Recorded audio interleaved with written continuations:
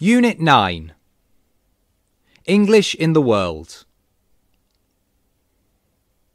Page 30. Getting started. Activity 1. Listen and read. Welcome to English Club. Today I'm going to do a quick quiz to check your knowledge of the English language. Question 1. Is English the language which is spoken by most people in the world? Of course it is. Incorrect. Chinese is the language which is spoken by most people in the world. Question 2. Does English have the largest vocabulary? Yes, with approximately 500,000 words and 300,000 technical terms. Yes, spot on. This is due to the openness of the English language. English has borrowed words from many other languages. Yeah, if there weren't so many words, it would be easier for us to master it. Haha, but the simplicity of form makes English easy to learn. Many English words have been simplified over the centuries. Now, question 3. Who can tell me an English word that can operate as a noun, a verb, and an adjective? I think the word subject can operate as noun, verb, and adjective. Excellent! In English, the same words can operate as many parts of speech. That's due to its flexibility. Question 4. What is the longest word in English which has only one vowel? Is it length? No, I think it's strength. That's right, Vy. Lastly, question 5. Who can tell me at least three varieties of English? American English, Australian English, and, uh, yes, Indian English.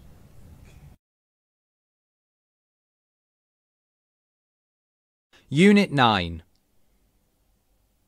Page 34. A closer look 1. Pronunciation. Activity 5. Listen to the conversations. Do you think the voice goes up or down at the end of each second sentence? Draw a suitable arrow at the end of each line. 1.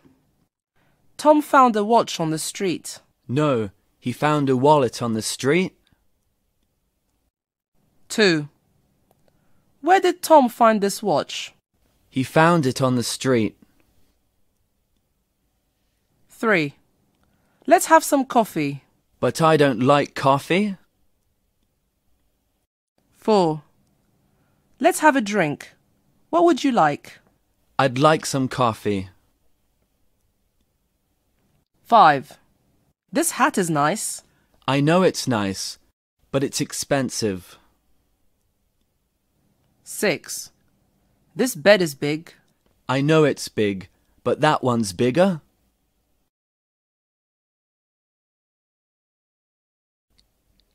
Unit 9.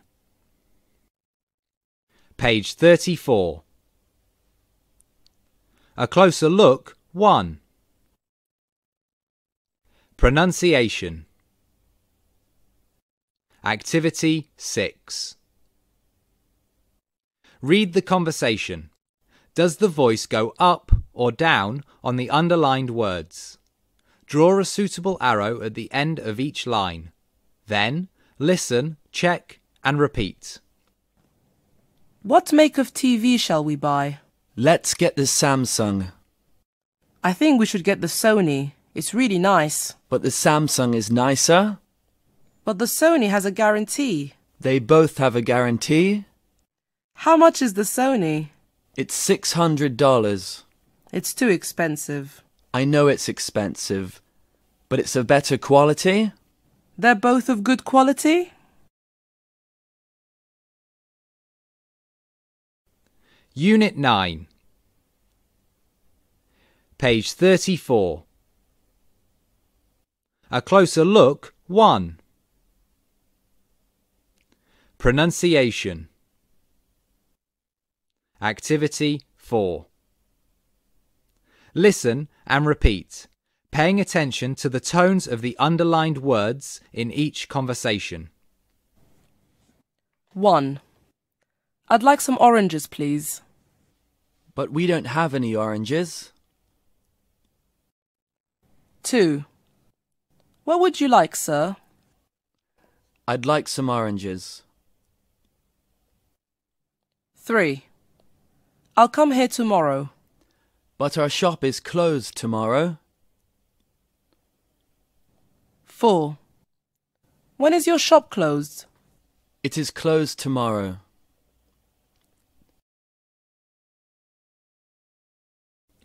Unit 9 Page 39 Skills 2 Listening Activity 1 Listen to four different people talking about speaking and learning languages. Match the summaries to each speaker. There is one extra summary. My first language is French, but I live near the border, so I'm reasonably good at German. I can also get by in Italian. We went to Rome last summer and I picked up the basics. My mother is Spanish and my father is French, so I'm bilingual. I'm also fluent in English, which I need for my job. I can have a conversation in Italian, but it's a bit rusty. I used to be quite bad at English. I knew a few words of everyday English that I learnt at school, but I couldn't speak a word of anything else. Last summer, I went to England on holiday. While I was travelling around the country, I picked up enough words and phrases to get by. I was told that my pronunciation was quite good, so when I got home, I decided to learn English properly. Last year, I got a job in a multinational company, so I had to learn English. A friend recommended an English center, and I have been going there for six months. I always enjoy the lessons, and the language is taught in a communicative way. I think I've learned a lot since I started. It's not all fun, though, at the moment of studying for my first exam. Unit 9 Page 39 Skills 2 Listening Activity 2 Listen to the extracts again and answer the questions. My first language is French, but I live near the border, so I'm reasonably good at German. I can also get by in Italian. We went to Rome last summer and I picked up the basics. My mother is Spanish and my father is French, so I'm bilingual. I'm also fluent in English, which I need for my job. I can have a conversation in Italian, but it's a bit rusty. I used to be quite bad at English. I knew a few words of everyday English that I learnt at school, but I couldn't speak a word of anything else.